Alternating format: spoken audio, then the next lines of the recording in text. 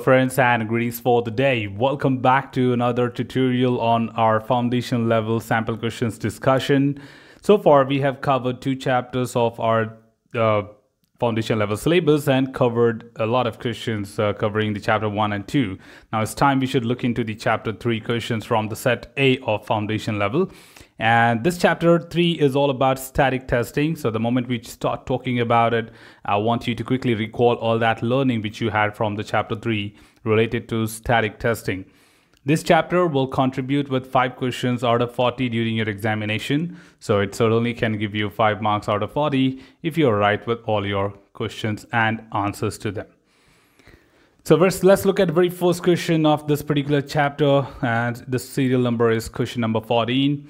Which of the following options are roles in a formal review?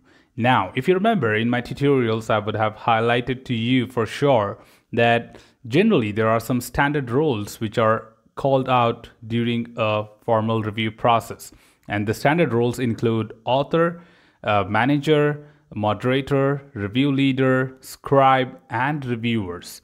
Now, the only catch from here is that who is a manager, who is an author, is that a dedi dedicated designation or responsibility in an organization? No, it's more of a temporary role which is given to any individual who will be playing that responsibility as a part of the formal review process. Now, for an example, if I'm an author of a requirement document, I might be a business analyst for the organization. And if I'm preparing a requirement document, I become an author for it.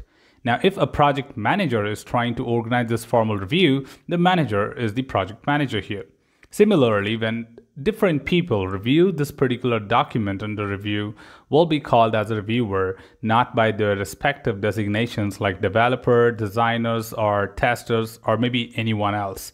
So it's very important for any individual to remember that Though you understand that a developer, tester, architect, or anyone else can be a part of the review process as a reviewer, but in a formal review process, they're not called as a developer or as a tester. Rather, collectively together, anyone reviewing the test process is called as a reviewer.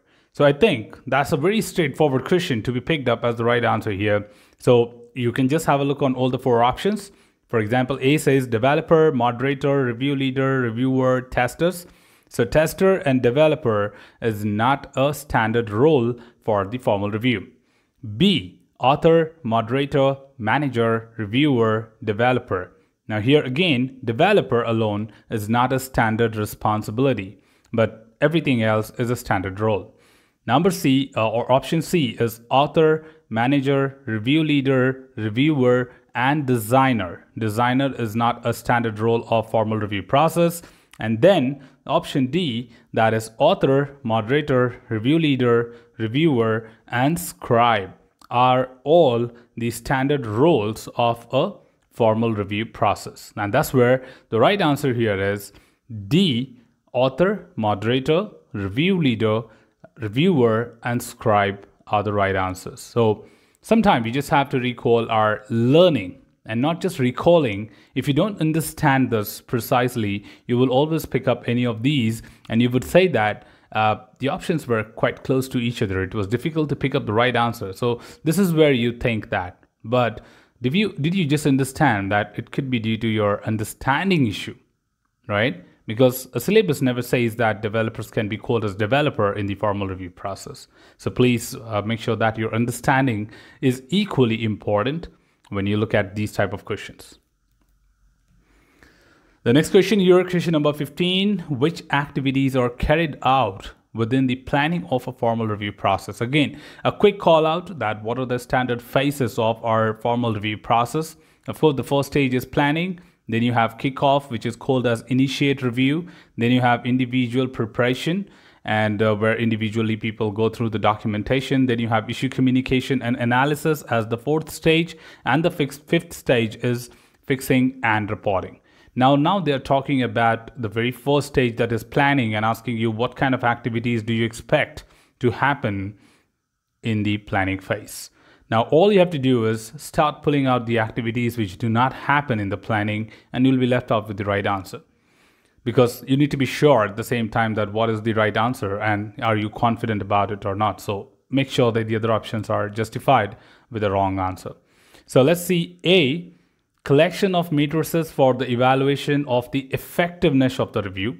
Now, very common sense they says that effectiveness of any particular activity can be measured once it is completed.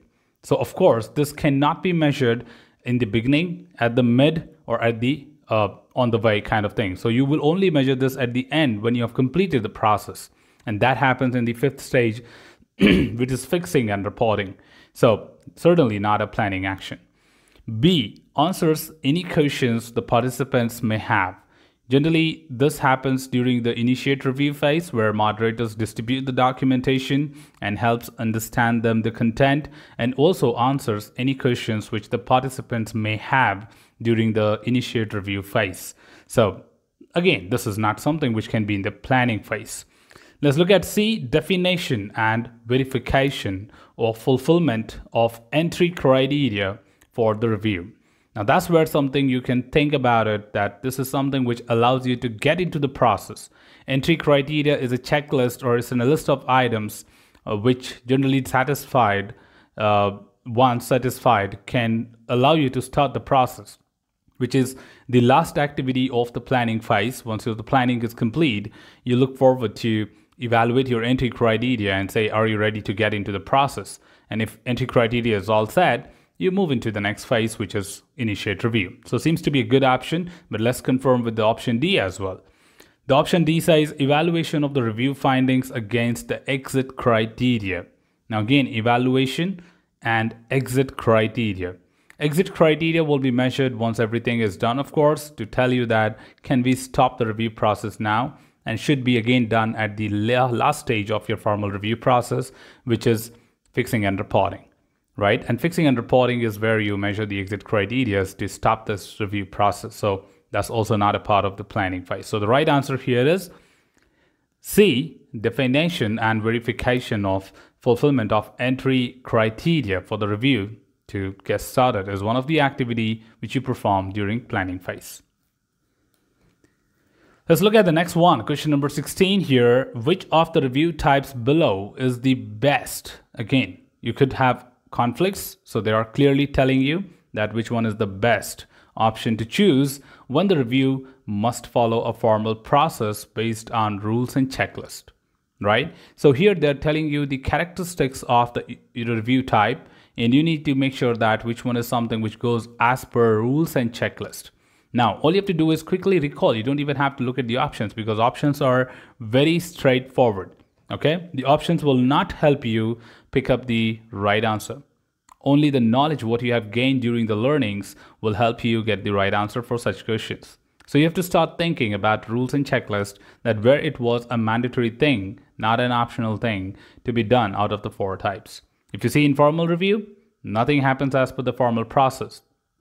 If you talk about walkthrough, we don't have rules and checklist in place in walkthrough as well. Technical, you may have process, you may have uh, management participation, you may have different other things, but not rules and checklist. And that's very straightforward. The most formal review type is your inspection, and inspection certainly consists of rules and checklist to be utilized as a mandatory step when you conduct inspection as a review type. So your straightforward right answer here is C inspection, which is the most formal review and makes use of rules and checklist. There are different variants of this type of question. They ask unique points. For example, which type of review you will have uh, author leading the review, right? And that answer is walkthrough. Which process leads into having inexpensive way of getting some benefit? Answer is informal review. At what point or which type of review you need technical experts to review your documentation or work product? The answer is technical review, right? So this is where you really need to, you know, have those catchy, unique points which I've highlighted in my tutorial to get the right answer for it. So we'll stop here as we have covered three questions and we'll conduct the rest of them in the next tutorial.